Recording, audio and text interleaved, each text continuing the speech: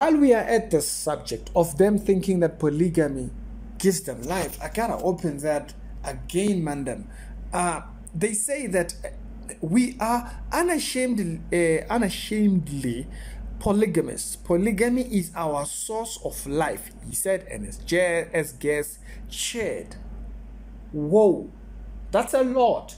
It's not the it's not the work of the cross that is the source of our life. It is not God that. Uh, that is the source of our life. It is polygamy. So IPC is celebrating uh, 60 years uh, anniversary of its existence since 1962. And so to yesterday there was an article that was posted on the Daily Sun, and this is the article right here. And uh, as they celebrate this big milestone, uh, there was the part here that caught my attention in the article. They talk about the leader, how it started, you know, in the early days that he had uh, received his healing through prayer and guidance from God. They kind of narrate that whole thing and they say that uh, Makwana said that, uh, said the church followed uh, Isaiah 4 1 scripture in the Bible, which speaks about polygamy. Okay, so they follow this verse. Now I'm going to read the verse so we can see uh, does this make for a church in 2022 something that is biblical? But let's let's see what they're trying to get to here. He says we are unashamedly uh, polygamists. Uh, polygamy is our source of life. In case you thought Mandem was making it up, okay. In case you thought Mandem was making it up, I saw somebody asking what is mandem. mandem is uh, it's like this guy. It's like saying this guy. It's um it's UK slang for for this guy. Like oh, Joe. you know? Now let's read the verse that's in question here. Let's read the verse that's being spoken about, which is Isaiah chapter number 4, verse 1. What does it say? It says, In that day seven women. Okay, so let's go to the previous chapter here. Thy men shall fall by the sword, and their uh, and thy mighty in the war, and her gates shall lament and mourn, and uh, oops. Load shedding and back. Okay, and so it says, and her gates shall lament, and she, being desolate, shall sit upon the ground. And so it's talking about this distressful period, right? And then it goes into, and that day, in that day, seven women shall take hold of one man, saying, We shall eat our own bread and wear our own apparel. Only let us be called uh, by your name and take uh, away our reproach. They take this verse as their li- like this they say that this is this gives them life. So they see the the whole seven women thing over there and they think this is permissible. This is what god wants or this is what god is permitting and therefore yeah but that does not mean that is what god has said to do okay? If you read in the new testament it is very clear that uh, marriage is between a man and a woman. Single man single woman. That's just that. It's not more than that. It's it's just that and that's all. But why is it that now seven women he's speaking about a, a particular period of time when this happens and it will happen okay? Now that might be already happening in africa and so forth but then this verse here is not saying that's what god is saying do can you focus on what God says do? if they were focusing on what God says do, they wouldn't be coming to the conclusion that this is somehow what they should be doing. But the reason why they come to those such such conclusions is because they are not considering that this verse is not telling you that this is what God wants you to do.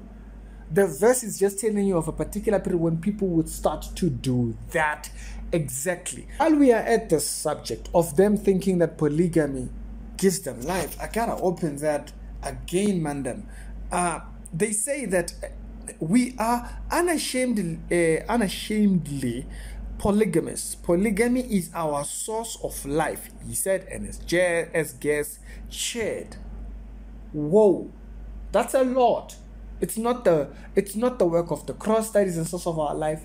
It is not God that uh, that is the source of our life. It is polygamy.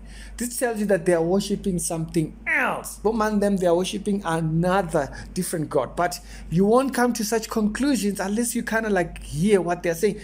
Instead of focusing on what God actually says do, they want something else to do. The verse that you just read, which they say their entire church is based on um, Isaiah 4 1, is not saying do that. The verse is saying that there is going to be a time when people are doing that. Okay? The Bible says in the last days, people shall there shall be a massive falling away. Does the Bible say you fall away? No, it says there is going to be a time when people fall away. It's not telling you to do that. What it tells you to do is to come to God, be repentant, and come to the work of salvation that was rendered on your behalf. Instead of just wearing red claiming that it represents the blood. okay? Actually, do what God says do. Not what you see. Okay, the Bible says, you know, Jonah was was supposed to go to Nineveh. Does that mean you go to Nineveh? okay, what what application of verses is this? It's a weird mandem kind of thing. It's a weird application of verses and interpretation. But I'm going to show you that that's not only the case on this particular situation. So we're going to turn this into a Chronicles episode. Now, my load shedding is going to take like four hours. my lights might come back a little bit late. Uh, if I do decide to shoot further, maybe I'll use our phone audio because that one tends to clear the uh, the, the noise of the generators outside. Uh, but if I use the, the audio that I was using on the camera when I started recording, it wouldn't work. But maybe I'll use the, the recording of the audio, but from the phone. But the most important thing to take here is that how do they come to this conclusion? The Bible tells you to come to the Messiah. They're not doing that. They're coming to a church. They go to a church. They defend a church they are not coming to the Messiah. They're not coming to God. They are going to a church. Fine. Now, going to a church is not, not, not a problem. That's where we gather, right? But they are going to a church because they believe that that's where their comforter is, according to their church doctrine. But at the same time, the verse does not say, you be a polygamist. That's not what the verse says. The verse says in there is a time when people will do that. Okay? There is a the Bible does tell you about a particular period when people were doing Molech sacrifices. Does it tell you to do Molech sacrifices? Can you please bother to read the whole thing or understand the whole context of the verse? But I'm going to show you that they do have other things that you listen to and you're like, okay, I can see why Bomandem come to such conclusions. It's because you don't exactly have proper reference for the Bible. But we're going to talk about that in this Chronicle series, and I will see you on the later on episode. Subscribe to the channel if it's the first video you, you just seeing.